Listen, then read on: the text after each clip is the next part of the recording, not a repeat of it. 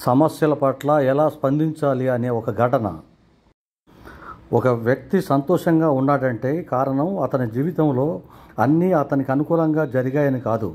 తన జీవితంలో అతనికి ఎదురైన మంచి చెడులన్నిటి పట్ల అతను సరైన వైఖరితో ఉన్నాడని అర్థం.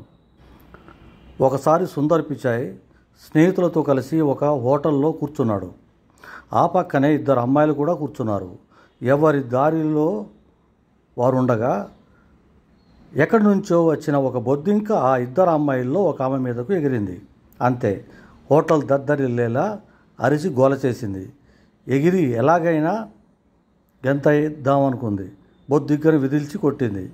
అది కాస్త వెళ్ళి రెండో అమ్మాయి మీద పడింది. ఆవిడ కూడా అదే స్థాయిలో గగ్గోలు పెట్టింది.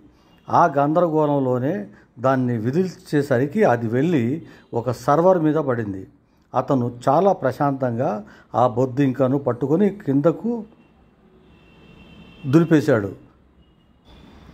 ఈ సంఘటన విన్నాక మీకేమనిపించింది ఒక పది సెకండ్లు ఆలోచించి మీకు ఏదో ఒకటి అనిపించాక మిగిలింది వినండి. మీలాగే ఈ దృశ్యాన్ని చూసిన సుందర్ పిచాయ్కు కూడా కొన్ని ఆలోచనలు వచ్చాయి. మనకు వచ్చిన ఆలోచనలకు అతని ఆలోచనలకు తేడా ఏమిటో అతని మాటల్లోనే తెలుసుకుందాం. కాఫీ తాగుతూ జరిగిందంతా చూసిన నాలో ఆలోచనలు మొదలయ్యాయి. ఆ గందరగోళం అంతటికీ కారణం ఏమిటి? ఆ అమ్మాయిలు అంత హిస్టీరిక్గా పారిపోవడానికి కారణం ఏమిటి? బొద్దింక? అలా అయితే ఆ సర్వర్ మీద పడింది కూడా. అదే బొద్దింక కదా? అతనెందుకు?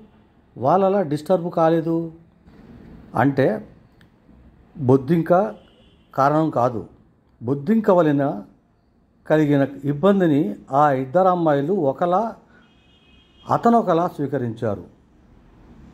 అప్పుడు నాకు అర్థమైంది ఇంట్లో మా నాన్న లేదా ఆఫీసులో బాస్ లేదా భార్య నా మీద అరిచినప్పుడు నాకు కలిగే చిరాకుకు కారణం ఏమిటో దానికి కారణం వాళ్ళ అరుపులు కాదు.